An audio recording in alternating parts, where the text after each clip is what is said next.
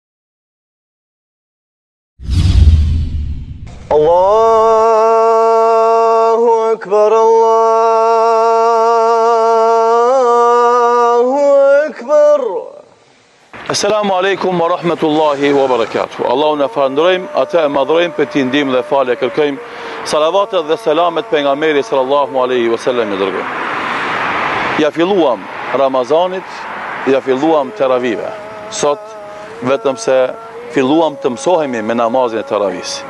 Dhe si zakonisht, në çdo fillim të Ramazanit hapet debati në mesin e xhematit, në mesin e pleqve dhe të rinjve, në oborret e xhamisë, në profilet e Facebookut, në e-mailat e hoxhallarëve, në pyetje dhe përgjigje, emisionet e pyetjeve dhe përgjigjeve në radio, në TV, në internet e kështu me radhë. Sa reqate i ka teravia? Temë, e cila nuk është përfundu një mijë e katërqind vjet dhe as na s'mund ta përfundojmë sot në këtë bisedë të shkurtë që do ta ofrojmë. Dhe kjo temë e numrit është temë, do thotë aktuale është temë që diskutohet është temë për të cilën dijetarët kanë shkrujtur libra, do thotë e meriton qasjen dhe është temë serioze. Mirëpo, unë e për veti mendoj se sa ma shumë se Që i japim rëndësi numrit, duhet t'i japim rëndësi cilësisë. Ma shumë se i japim rëndësi sasisë, t'i japim rëndësi cilësisë. Dhe nëse na kujdesimi për të korrigju dhe përmirësu cilësinë e taravisë sonë, atëherë do ta kemi lehtë punën e numrit dhe sasisë. Dhe se vende, vende u detyrohet njerëzve të falin reqate ma të shkurta, për shkak se edhe koha nuk u ndihmon se është taravia vonë, syfyri është herët, dhe natën është e shkurtë, sidomos tash verës, dhe nuk u jepet mundësia për ta zgjat shumë namazin e teravisë. Pejgamberi sallallahu alaihi wasallam dhe kjo është pyetja që na vazhdimisht duhet ta parashtrojmë te gjitha ibadetet. Sa rekate teravi ka fal pejgamberi sallallahu alaihi wasallam? I vetmi hadith që transmeton Imam Buhariu sa i nëtipi që tregon për namazin e natës pejgamberi sallallahu alaihi wasallam është hadithi i Aishës radhiyallahu anha e cila thotë se pejgamberi sallallahu alaihi wasallam i fali katër rekate. Mos pyet sa gjatë dhe sa mirë i fali, pastaj i fali edhe katër tjera. Mos pyet sa gjatë dhe sa mirë i fali, pastaj i fali tre vitrin dhe me të e përfundoi namazin e tij. Dhe kur t'i marrim hadithin e Abdullah ibn Mesudit, hadithin e Ibn Abdullah ibn Abbasit, hadithin e Abdullah ibn Zubairit, Që tregojnë domethënë namazin e natës pejgamberit sallallahu alaihi wasallam që dy rekate i ka fal aq gjatë sa që ka lexuar në rekatin e parë tre surat më të mëdha të Kur'anit Bakaren, Nisa dhe Ali Imranin, pastaj aq ka ndejt në ruku, aq në sexhde, pastaj rekatin e dytë gjithashtu nisoi, pastaj sexhden, pastaj pastaj ruku, pastaj sexhden e kështu me radhë.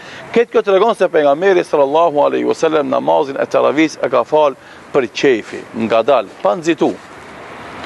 Dhe normalisht pastaj Me kalimin e kohës, do thotë disa dijetarë kanë kuptu hadithin tjetër pejgamberit sallallahu alaihi wasallam namazi natës është dy rekate, dy rekate pa e përkufizu sasinë. Dhe në bazë kësaj kanë thanë se nuk është me rëndësi t'i falim 8 apo 11, por sado që falim është pa kufi. Dhe normalisht duke pa dobësinë ose mungesën e vullnetit për me qëndru gjatë në kohë në namaz teravije, kanë thonë atëherë po i shtojmë rekatet dhe po e shkurtojmë sasinë e leximit të Kuranit në to. Se njerëzit nuk mund të durojnë shumë në kiam sepse nuk kanë përvojë, nuk janë stërvitur, nuk kanë edukum, sikur është rasti me shumicën e xhematlive tonë tash fatkesisht.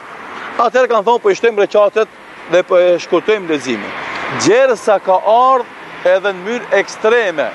Do të thotë, është rrit numri i rekateve dhe është shkurtuar leximi në në namaz, sa që domethënë ndoshta lexohen ajetet më të shkurtra, ajetet më të shkurtra dhe në formën më të shpejtë në teravit e tona, sikur se jemi dëshmitar. Andaj kjo ka nevojë të korrigjohet.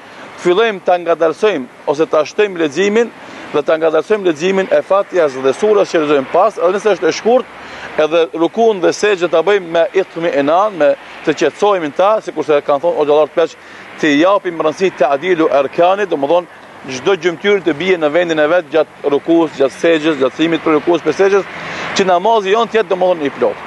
E tash kur ta bëjmë domethënë kur ta korrigjojmë kualitetin, Atëherë debati sa rekate domethënë bie në në në në në raundin e dytë ose domethënë në pjesën e dytë të bisedës. Dhe ne i kemi dy mendime kryesore të ulemave, mendimin e një pjesë të ulemave që thonë duhet të ndjekim strikt, do të imitojmë domethënë pejgamberin sallallahu alaihi wasallam, as sa ka fal ai të falim ne, ose mendimi i dytë i dietarëve që thotë se nuk është me rëndësi numri, sa është me rëndësi domethënë cilësia dhe mund të falësh domethënë edhe më shumë Nëse domethënë paksohet leximi i Kuranit. Pa e, pa e dëshiru ta përfundoj publikisht këtë debat, sepse edhe nëse unë e shpreh cili mendim më qetëson ose e, pushon zemra ime në te, nuk do ta përfundojmë ne këtë debat, sepse ky debat, sikurse thamë, është me, me, me, me, do thot, me qindra vite i pranishëm në mesin e muslimanëve dhe nuk mund ta përfundojmë asnjëherë. Por sido qoftë, pa marrë parasysh domethënë, Të mundohemi të korrigjojmë cilësinë e namazit tonë. Cilësinë, domethënë, në kuptimin që të jetë i pranishëm zemra, shpirti, mendja jonë në atë namaz. Nëse bëjmë namazin ashtu siç e ka bërë pejgamberi sallallahu alaihi wasallam, me përulje, me frikërespekt, me koncentrim, me vëmendje, ai namaz ka me pas efekt, s'është me rëndësi a është pastaj 2, a është pastaj 4, a është më shumë apo më pak. Andaj E lusim Allahun të na ndihmon në korrigjimin e cilësisë namazit dhe që ky namaz të bëhet sebeb për ndryshimin shpirtnor tonin dhe fitu sevapin te Allahu Dhul Xhelal e për t'u pastruar nga gjunahet tona dhe për ta fituar xhenetin e Allahut Dhul Xhelal. Zoti ju shpërbleftë, esselamu alejkum wa rahmetullahi wa barakatuh.